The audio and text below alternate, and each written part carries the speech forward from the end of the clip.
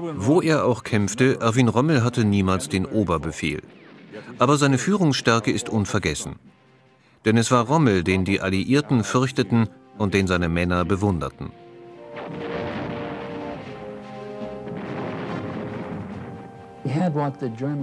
Er hatte das, was man Fingerspitzengefühl nennt, einen sechsten Sinn, um eine Situation richtig zu erfassen.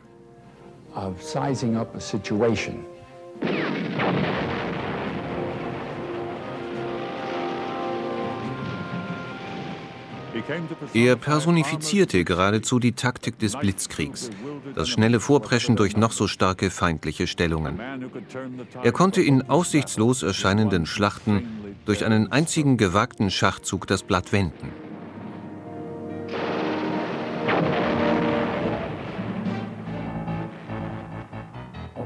Natürlich war ich stolz auf ihn. Ich respektiere ihn noch heute. Rommel versteht man am besten als jemanden aus einem anderen Jahrhundert. Rommel war ein Mann von Ehre und Prinzipien. Einen unsoldatischen Befehl hätte er auch von Hitler nie befolgt. Er hatte die genialen Fähigkeiten eines Schachmeisters. Er kann zwölf Kerlen begegnen und sie alle matt setzen. Es war Rommel, der Winston Churchill dazu brachte, im Unterhaus auszurufen, was zählt, wenn nicht ihn zu schlagen?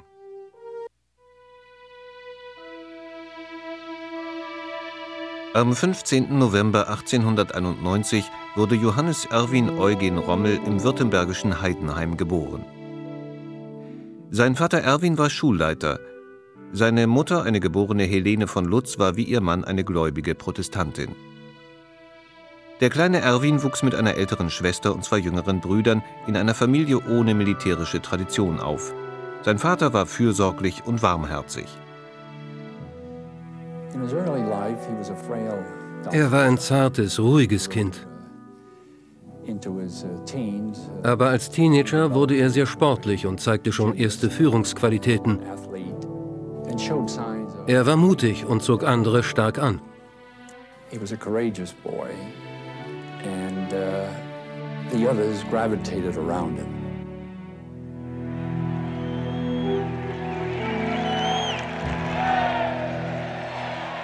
Das Deutschland des frühen 20. Jahrhunderts sonnte sich noch immer im Sieg über Frankreich im Krieg von 1870. Ein angesehenes Offizierskorps, getragen von preußischen Adligen, dominierte eine schlagkräftige Armee. Es herrschte die allgemeine Wehrpflicht. Doch der Bedarf an Offizieren auch aus der Mittelklasse war groß genug, sodass der Schuldirektor Rommel seinem Sohn raten konnte, diese Laufbahn einzuschlagen. Und so trat der Sohn im Juli 1910 ins 6. Württembergische Infanterieregiment als Fahnenjunker ein. Er leistete seinen Wehrdienst ab und wechselte dann zur Militärakademie in Danzig. Als Kadett hat er sich nicht sonderlich ausgetobt. Er trank gelegentlich ein Glas Wein. Er rauchte nicht. Und das hat er auch für den Rest seines Lebens beibehalten.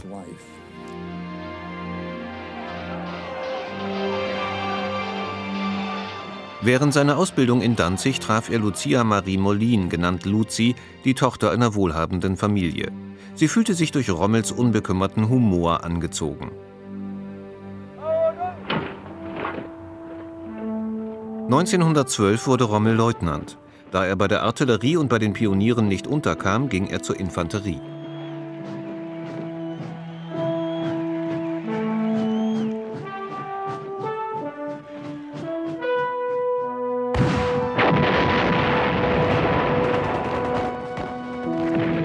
Als für Deutschland und fast ganz Europa im August 1914 der Erste Weltkrieg begann, erwarb sich Rommel seine ersten Lorbeeren auf dem Schlachtfeld.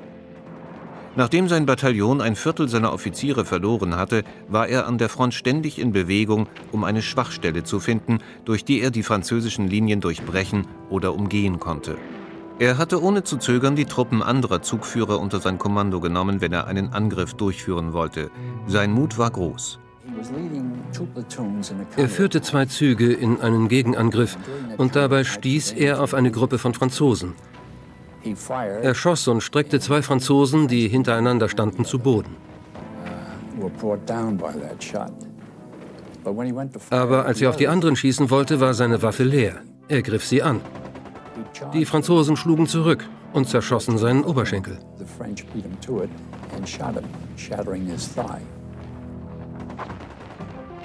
Schnell war er wieder genesen und die Legende über den nicht umzubringenden Fuchs des Schlachtfelds war geboren. Er erhielt sein erstes eisernes Kreuz und hatte sich großen Respekt erworben.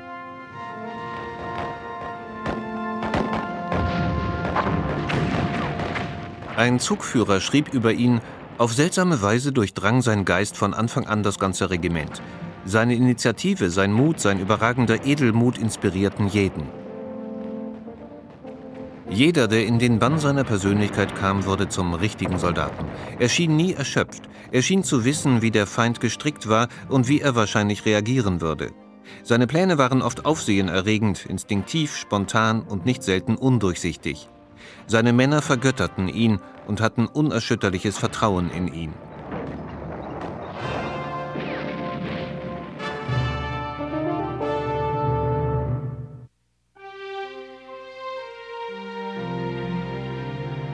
Rommel wurde zum Oberleutnant befördert und fuhr auf Heimaturlaub, um seine Luzi zu heiraten. Sie war bis zum Schluss die Liebe seines Lebens.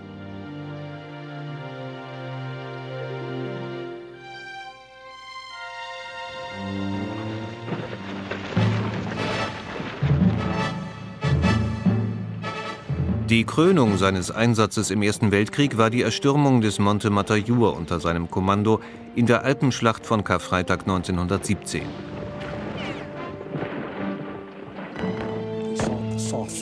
Er suchte die Schwachstellen, einen unbewachten Posten, die Stelle ohne durchgehende Schützengräben. Obwohl er nur Oberleutnant war, waren seine Kommandeure von seinem Vorgehen so beeindruckt, dass sie ihm eine Einheit in Bataillonsstärke gaben, die normalerweise von einem Major oder Oberstleutnant befehligt wurde.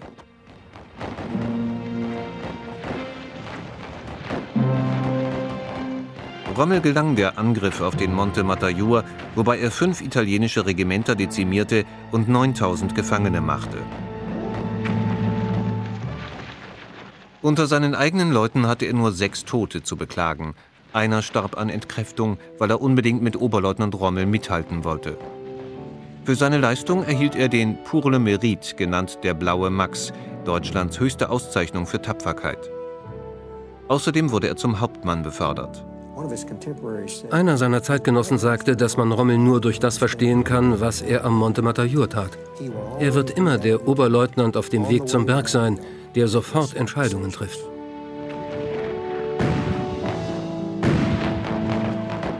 Aber mit dem, was er in den Schlachten gelernt hatte, musste er auf einen anderen Krieg warten. Deutschland brach zusammen und Rommel zog über 20 Jahre nicht mehr in einen Kampf.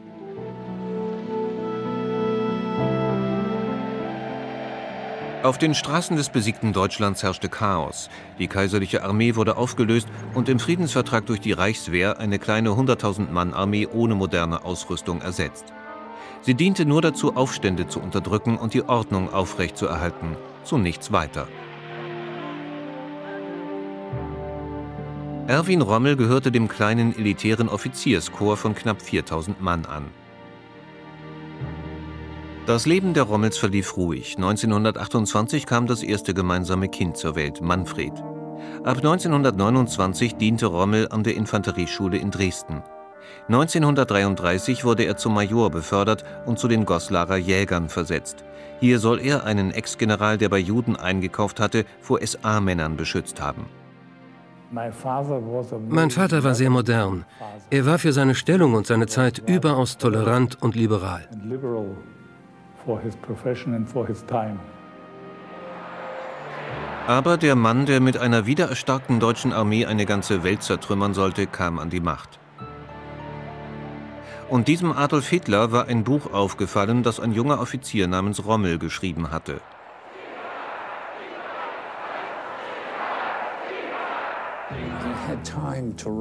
Er hatte Zeit, ein Buch zu schreiben. Infanterie greift an.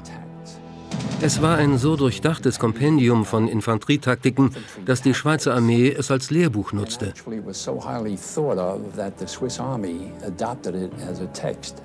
Hitler hatte es gelesen und war so beeindruckt, dass Rommel zum Kommandanten des Führerhauptquartiers ernannt wurde. That uh, he was appointed as commandant of Hitler's headquarters. Der Armee wurde beigebracht, nicht politisch zu sein. Das ist ein gutes Prinzip in der Demokratie, aber ein schlechtes in der Hitlerzeit. Denn viele Soldaten sagten, ich tue meine Pflicht. Politik geht mich nichts an. Many soldiers said, I, I do my duty. Politics is not my business.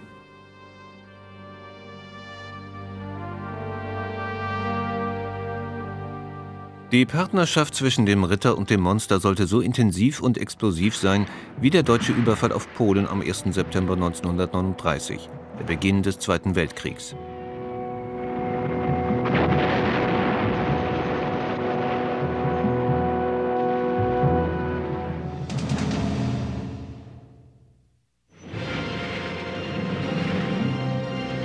Als Generalmajor beobachtete Erwin Rommel, wie die deutsche Wehrmacht in nur drei Wochen das unglückliche Polen überrannte.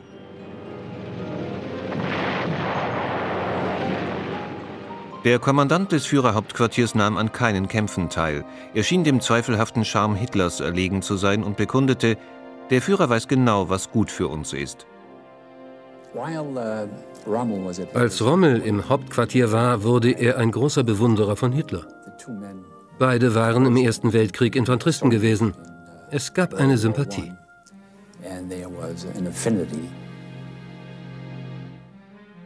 Rommel beobachtete, wie der große Angriff auf Frankreich vorbereitet wurde und erkannte, dass die neue Panzerwaffe seine Speerspitze bilden würde. Genau dort wollte er sein. Er bat Hitler um das Kommando über eine Panzerdivision und zögerlich stimmte dieser zu. Hitler Hitler wollte diesen Offizier, den er so sehr respektierte, ehren, indem er ihm das Kommando über eine Panzerdivision gab.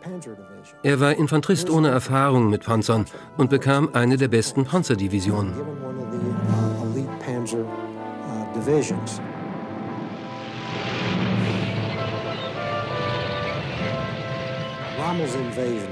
Rommels Beteiligung an der Invasion in Frankreich als Kommandeur der 7. Panzerdivision war fast genauso wie das, was er als Leutnant im Ersten Weltkrieg in Frankreich, Rumänien und Italien gemacht hatte.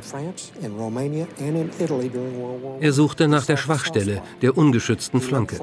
Oft leitete er den Vorstoß aus einem einzelnen Panzer ganz vorn. Sein Stab hat häufig den Kontakt zu ihm verloren. Es war Blitzkrieg in Reinform. Es war Rommel but it was Blitzkrieg in its purest form. It was Rommel.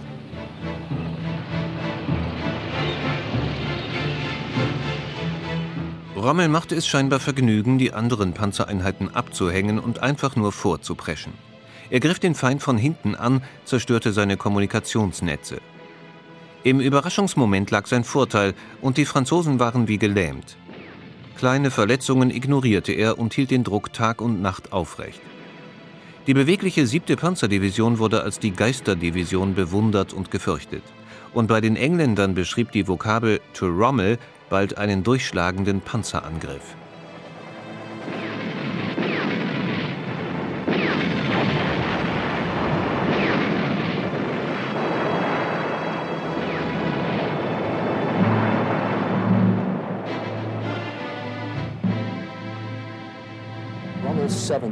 Rommels siebte Panzerdivision brach als eine der ersten zur französischen Küste durch.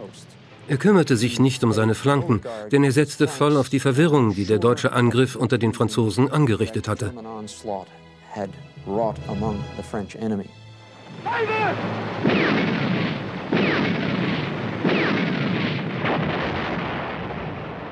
Rommels Truppe durchbrach die französisch-belgische Grenze, schaffte die Überquerung der Maas und stürmte weiter auf die Häfen am Ärmelkanal zu.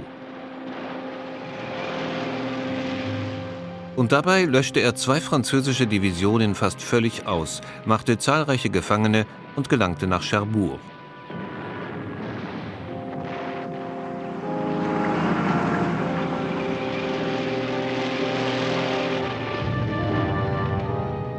In nur zehn Tagen hatte Rommel 280 Kilometer zurückgelegt, die Maas überquert, 10.000 Feinde gefangen genommen, 100 Panzer zerstört und dabei noch nicht einmal 2.000 Mann verloren.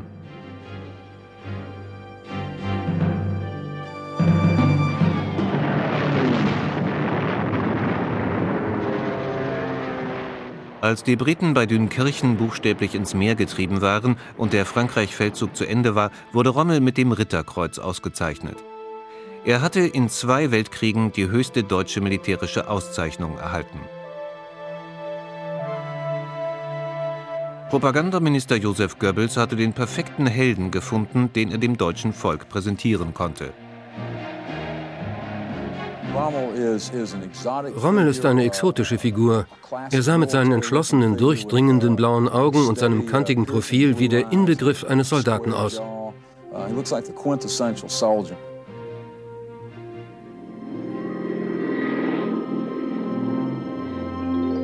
Die Nazis fanden bald das richtige Vorzeigeprojekt für ihren neuen Superhelden, Nordafrika. Wenig später wurde Rommel zum General der Panzertruppe ernannt. Er sollte den italienischen Verbündeten beistehen und verhindern, dass sie aus Afrika verdrängt würden. Eine solche Niederlage hätte die Bedrohung des Suezkanals und der britischen Öllieferungen durch die Achsenmächte beendet. Rommel übernahm am 12. Februar 1941 das Kommando über zwei deutsche Divisionen und machte aus ihnen das berühmte Afrikakorps. In den nächsten beiden Jahren sollten die Alliierten diese Truppe kennen und fürchten lernen.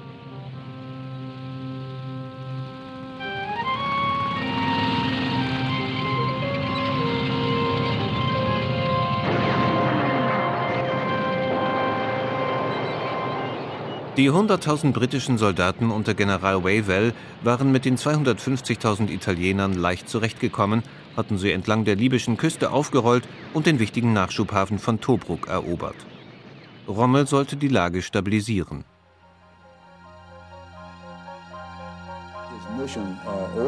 Sein Befehl vom Oberkommando des Heeres und der Wehrmacht war, die italienische Niederlage hinauszuzögern. Er sollte Nordafrika nicht erobern, er hatte die Erlaubnis zu einer aggressiven Verteidigung, aber nicht mehr.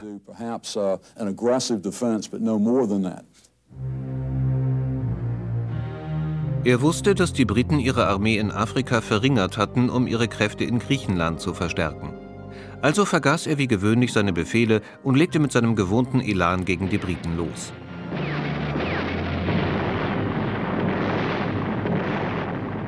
In nur etwa zwei Wochen hatte er den Feind weitgehend aus Libyen vertrieben und ihren besten kommandierenden General Richard O'Connor gefangen genommen.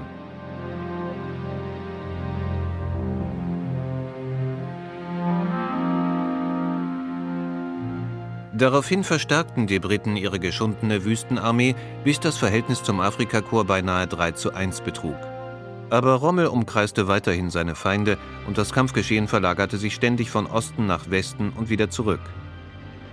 Rommels Ruf war eine genauso wichtige Waffe wie seine Panzer. Immer wieder haben die Briten mit ihrem Vormarsch innegehalten, weil sie eine von Rommels bösen Überraschungen befürchteten. Er sagte, es ist mir gegeben zu fühlen, wo der Gegner seine Schwächen hat. Unter seinen Offizierskollegen war er voller Ehrfurcht als der Schulmeister bekannt. Woraus Rommel eine einzige zusammengehörige Waffe schmiedete, waren seine Panzer, seine Infanterie, aber vor allem seine Antipanzerwaffen, seine 88 mm Flugabwehrkanonen.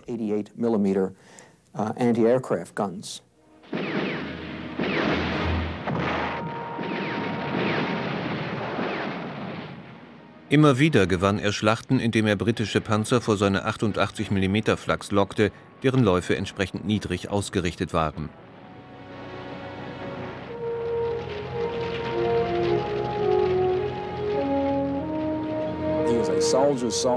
Er ist Soldat unter Soldaten.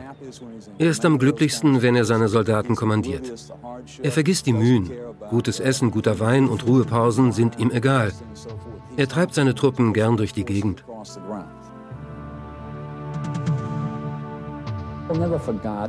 Rommel hat nie vergessen, dass die Schlacht nicht von Stabsoffizieren mit polierten Stiefeln, Federhaltern und Vervielfältigern gewonnen wurde, sondern von schmutzigen Soldaten mit Läusen und Durchfall, verschwitzt und erkältet und mit Heimweh.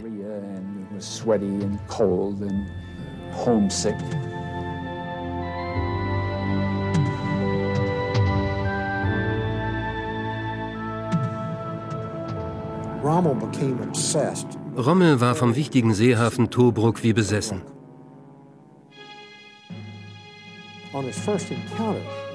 Beim ersten Versuch kam er gegen eine entschlossene britische Verteidigung nicht an.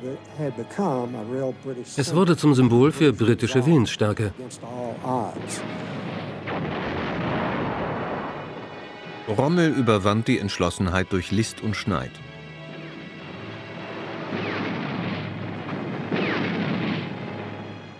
In einem zweiten blutigen Angriff nahm er Tobruk ein.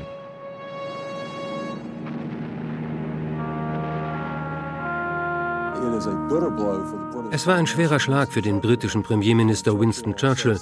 Und er sagte, dass eine Niederlage im Krieg eine Sache sei, eine Demütigung aber eine ganz andere. Seine Chancen standen so schlecht, seine sofortigen Erfolge waren so groß. Er konnte tun, was er wollte.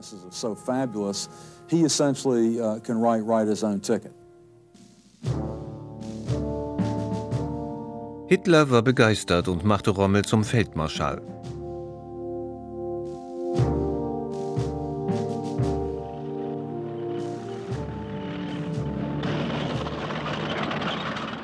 Nun stand Rommel, der doch nur den Status quo sichern sollte, vor El Alamein, dem letzten Bollwerk vor Kairo und dem Suezkanal. Er war kurz davor, die Briten aus Ägypten zu vertreiben. Rommel wird kaum bemerkt haben, dass der leidgeprüfte Churchill den personifizierten Gegensatz zum Wüstenfuchs als Kommandeur seiner 8. Armee nach Afrika geschickt hatte. General Bernard Montgomery war so kühl methodisch, wie Rommel intuitiv war. Montgomery begann systematisch damit, eine Materialüberlegenheit aufzubauen, der auch ein Rommel nicht gewachsen sein konnte.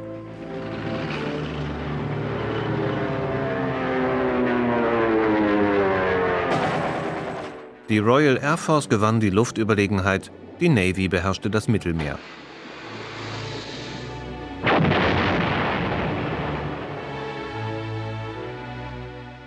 Das Blatt der Deutschen wendete sich, aber um Rommel von El Alamein fernzuhalten, musste erst eine der berühmtesten Schlachten der Geschichte geschlagen werden.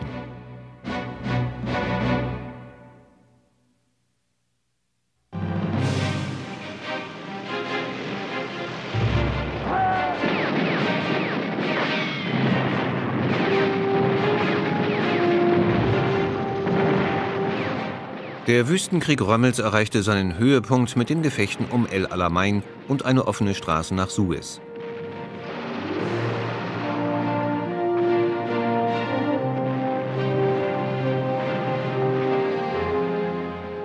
Ab Oktober 1942 hatte Rommel Montgomery kaum etwas entgegenzusetzen.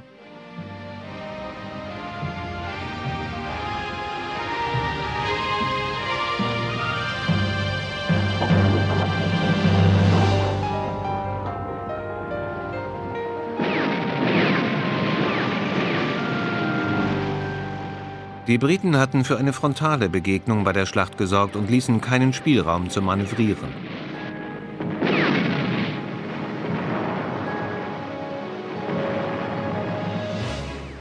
In diesem Kampf hieß es Mann gegen Mann und Panzer gegen Panzer. Und Rommels Reserven waren zuerst verbraucht.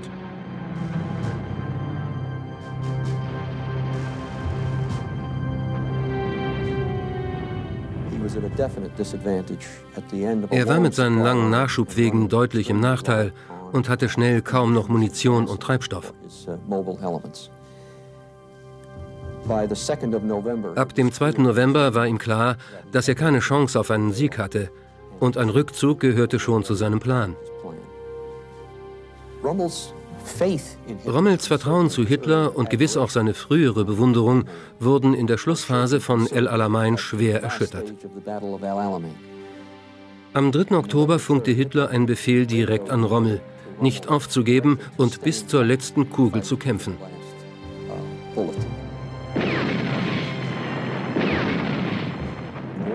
Ein Befehl, den er besonders in der letzten Phase des Krieges sehr gern gab.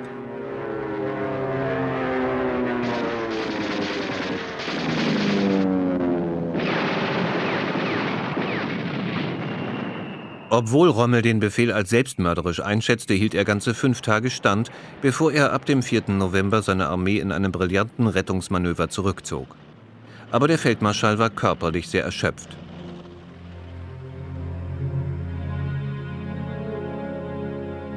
Und obwohl er nur noch sehr wenige Panzer hatte, war er noch ein gefährlicher Gegner. Britische Siege schienen immer nur zeitweilig zu sein, Rommels Siege hingegen unabwendbar. Wenn klar war, dass er ein Manöver anführte, waren seine Gegner von vornherein mutlos. Ein Brief an britische Kommandeure warnte, es besteht die Gefahr, dass unser Freund Rommel zu einer Art Magier oder Buhmann für unsere Truppen wird, die viel zu viel über ihn reden. Aber hassen konnten sie ihn nicht, sein Anstand war allzu bekannt. Als er El Alamein angriff, gehörte zu den Verteidigern eine Brigade jüdischer Soldaten. Hitler erfuhr davon und befahl Rommel, sie hinzurichten, wenn sie gefangen genommen werden sollten.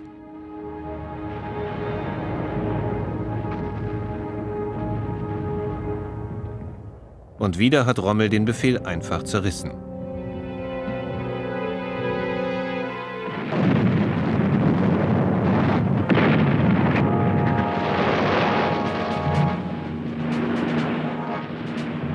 Einen Monat nach dem Ende der Schlacht um El Alamein landete eine große angloamerikanische Truppe in Nordafrika und bedrohte Rommel von Westen aus. Er steckte fest zwischen den Kräften von Montgomery und denen des amerikanischen Generals Eisenhower. Aber er inszenierte einen geschickten Rückzug in eine starke Verteidigungsstellung in Tunesien mit der See im Rücken. Sie wollten nicht aufgeben, sondern vernichtende Schläge besonders gegen die Amerikaner austeilen, von denen sie wussten, dass sie sehr unerfahren waren. Rommel hatte den Plan, über die wichtigen Pässe in den Gebirgszügen zu gelangen, die im Norden und Süden durch Tunesien führen, um auszubrechen und das amerikanisch-britische Kommandosystem zu unterbrechen.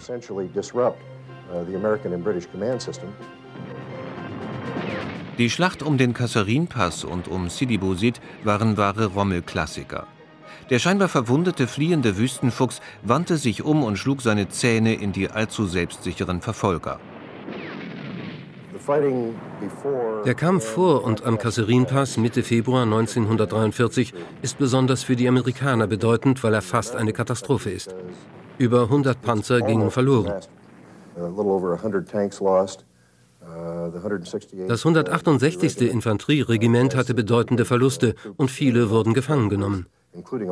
Zu dieser Zeit, als die deutschen Panzer westwärts rollten, haben sie versucht, sich diesem Moloch irgendwie in den Weg zu stellen uh.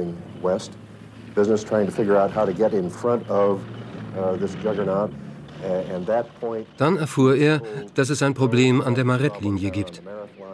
Gerade auf dem Höhepunkt, als sie die Amerikaner zurückgeschlagen und den Pass erobert hatten, hielten sie an und zogen sich zurück.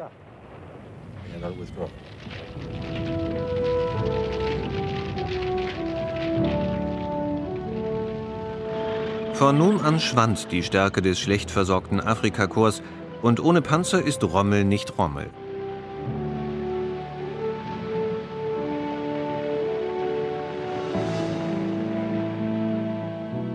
Im März 1943 wurde er geschwächt und krank von Tunesien nach Deutschland zurückbeordert. Afrika sollte er nie wiedersehen.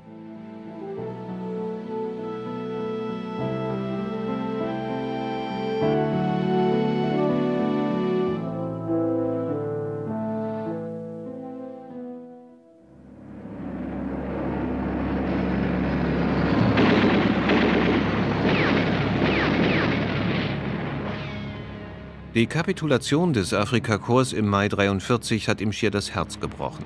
Sein berühmtes Kommando hatte nur zwei Jahre gedauert und umfasste höchstens fünf Divisionen, um seine Erfolge zu erzielen. Und nun, zurück aus der Isolation in der Wüste, wurde er mit einer schrecklichen Wirklichkeit konfrontiert.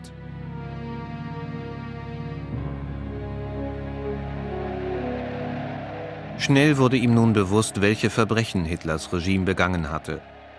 Sein alter Freund, General von Blaskowitz, fragte ihn, Rommel, weißt du, warum ich kein Feldmarschall bin? Und verbittert gab er selbst die Antwort, ich habe nicht gebilligt, was die SS in Polen und Russland getan hat.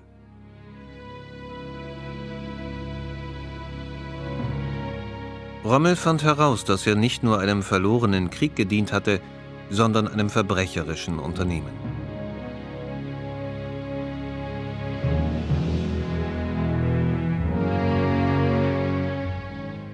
Rommel machte sich keine Illusionen mehr und kam in Kontakt mit einer weit verzweigten Verschwörung gegen Hitler.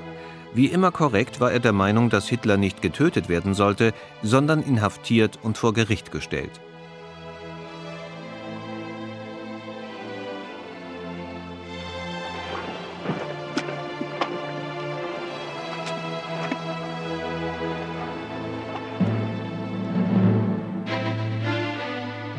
Aber als Hitler ihn dazu abkommandierte, einen mächtigen Atlantikwall zu errichten, um die Invasionsstreitmacht der Alliierten an der Landung in Frankreich zu hindern, schob er alle anderen Erwägungen beiseite.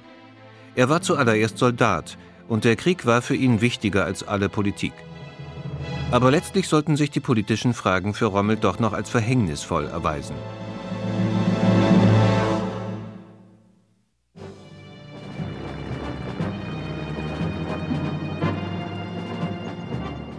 In der ersten Hälfte von 1944 stellten die Alliierten die beeindruckendste Angriffsmaschinerie zusammen, die die Welt je gesehen hatte.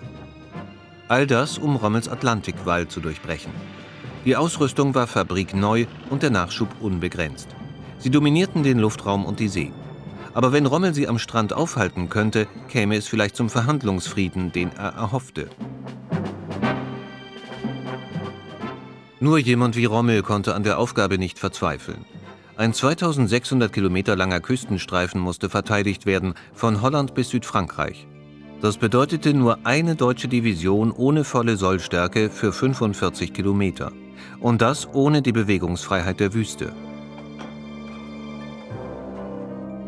Der Meister der mobilen Kriegsführung sah sich zu einem statischen Verteidigungskampf gezwungen, um unter anderem die Küste der Normandie zu sichern.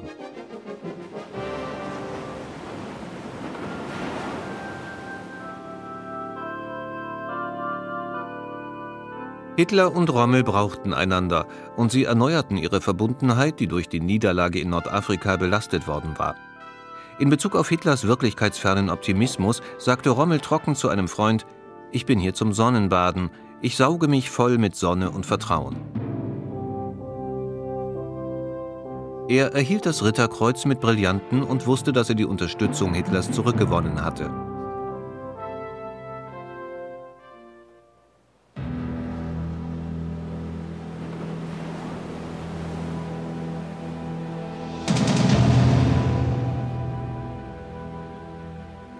Weil Rommel so geringe Kräfte zur Verfügung hatte, musste sich das Offensivgenie auf stationäre Verteidigungsanlagen verlassen.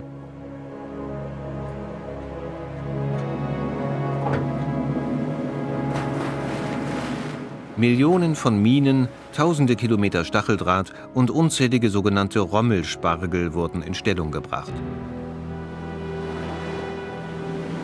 Der Wüstenfuchs war nun gebunden an betonierte Geschützstellungen und Bunker. Diese Art von Stellungen hatte er immer als Soldatensärge angesehen.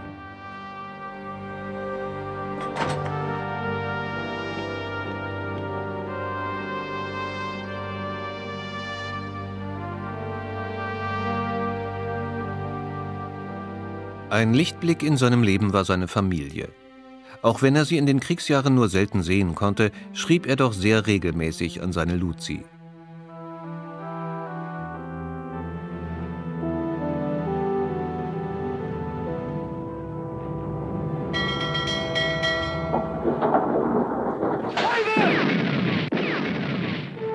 Rommel war zum Geburtstag seiner Frau am 6. Juli zu Besuch bei seiner Familie, als er hörte, dass die Lawine der Alliierten über die Normandie hereingebrochen war.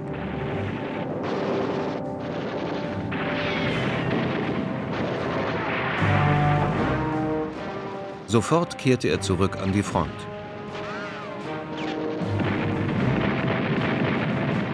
Er wusste, dass es zu spät war. Seine Pläne von parallelen Minenfeldern und vier Gürteln von Hindernissen unter Wasser waren weit entfernt von ihrer Fertigstellung. Die Alliierten konnten noch nicht einmal einen Tag lang am Strand aufgehalten werden, bevor sie sich durchboxten und einen Brückenkopf bildeten.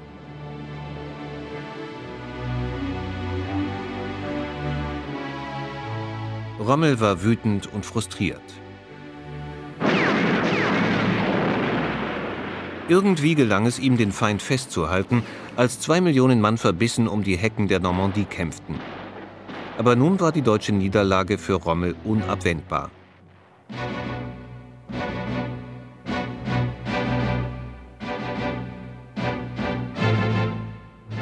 Der tapfere und charismatische Oberst Klaus Schenk von Stauffenberg und Generalleutnant Hans Speidel waren die hochkarätigen Anführer einer lange vorbereiteten und groß angelegten Verschwörung zur Beseitigung Hitlers. Einige Versuche, ihn zu töten, waren gescheitert. Es gab Unstimmigkeiten, welche Funktion Rommel bekleiden sollte, ob er die Reichswehr übernehmen oder Präsident des neuen Deutschlands werden sollte.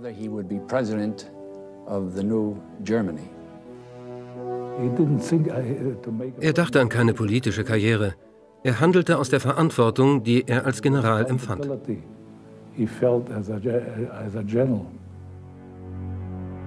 Feldmarschall von Kluge setzte von Rundstedt über Rommel, der inzwischen darüber sprach, die westliche Front für die Alliierten zu öffnen, wenn sie den Durchbruch geschafft hätten und keine Hoffnung mehr bestehen würde. Er würde Hitler vor vollendete Tatsachen stellen, denn er fand es entscheidend, dass die Westalliierten Berlin vor den Russen erreichen. Er machte noch einen Versuch, Hitler mit Argumenten von der Einstellung der Kämpfe zu überzeugen und traf ihn in Berchtesgaden. Hitler bestand darauf, dass Rommel den Raum verlässt. Das war Ende Juni 1944 und die beiden sind sich nicht mehr begegnet.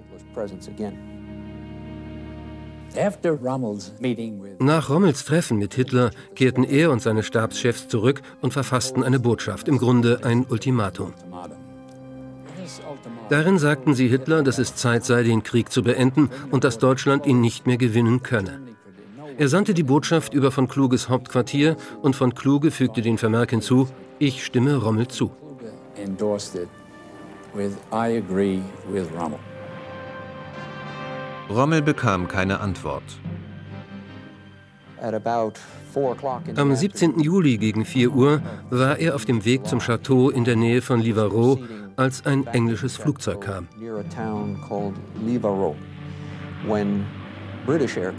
Er rief dem Fahrer zu, schneller zu fahren und abzubiegen. Aber das Flugzeug erwischte den Dienstwagen im Tiefflug auf offener Straße.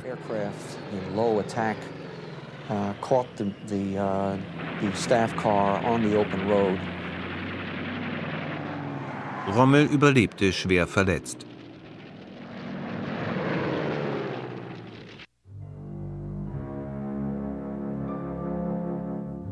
Am Donnerstag, den 20. Juli 1944, als Rommel sich von seinen Verletzungen noch nicht erholt hatte, erschütterte eine Explosion eine Baracke im Firnburg in Ostpreußen, wo eine hochkarätige Besprechung stattgefunden hatte.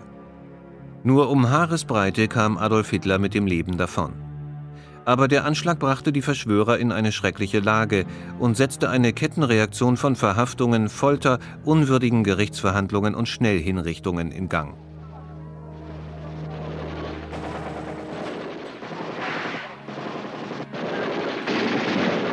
Nur Rommel bekam eine Galgenfrist dank seiner Verletzungen.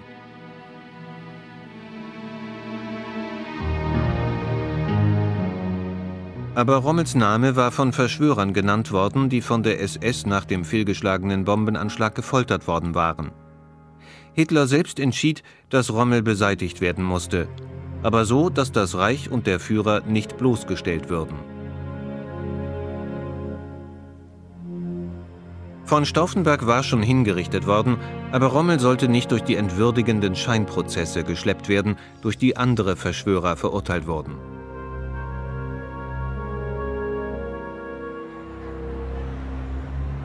Schon lange war Rommel die beliebteste Figur in Deutschland nach Hitler. Eine öffentliche Anklage dieses heldenhaften Generals hätte die öffentliche Moral schwer erschüttert.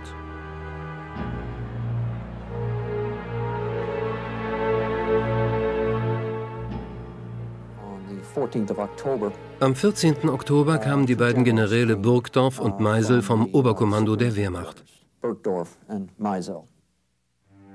Sie gingen in Rommels Haus und trafen sich mit ihm in seinem Büro. In aller Stille erklärten sie ihm, dass er eine schreckliche Entscheidung zu treffen habe. Mein Vater sprach mit mir, bevor er fortging. Er sagte, dass zwei Generäle ihm gesagt haben, dass es genügend Beweise für seine Beteiligung an der Erhebung gegen Hitler gäbe.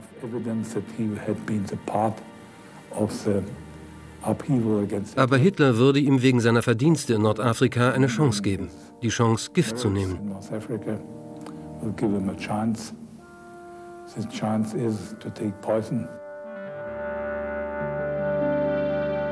Die Alternative wäre, dass seine Familie in ein Konzentrationslager gebracht wird, nachdem Rommel öffentlich von einem Standgericht abgeurteilt wurde.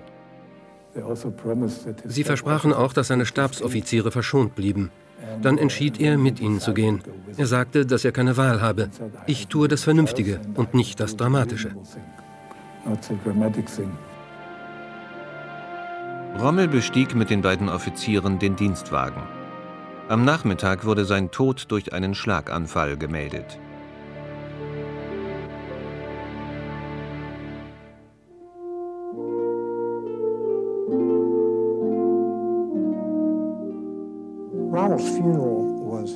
Rommels Begräbnis wurde von den Nazis groß inszeniert.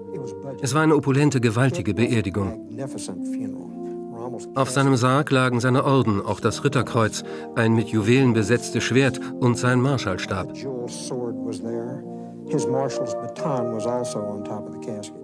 Offiziere mit gezogenen Schwertern hielten die Totenwache.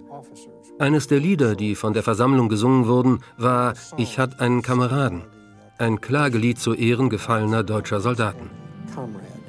a lament, a ballad to uh, honor a fallen uh, German soldier.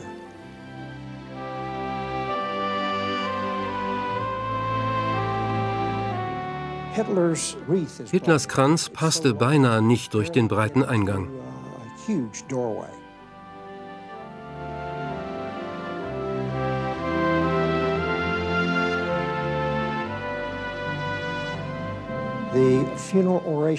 Die Trauerrede wurde vom ältesten deutschen Feldmarschall von Rundstedt gehalten. Das zentrale Thema war die Geschlossenheit Deutschlands gegen die Alliierten. Er sagte, dass Rommels Herz beim Führer war. Rommel sei dem Nationalsozialismus sehr ergeben gewesen.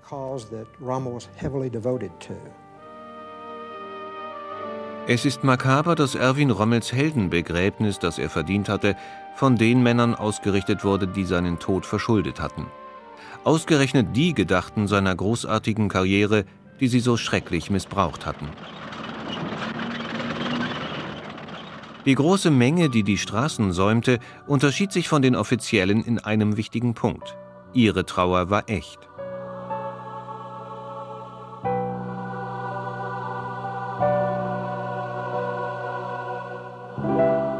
Der Soldat Erwin Rommel wurde auf dem Friedhof von Herrlingen beigesetzt.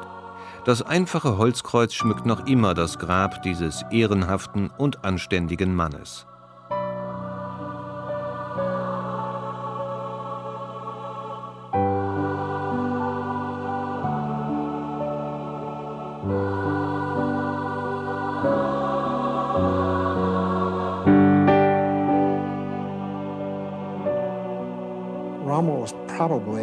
Vielleicht war Rommel unzeitgemäß. Hätte er im 16. oder 17. Jahrhundert gelebt, wäre er wohl der letzte deutsche Ritter gewesen.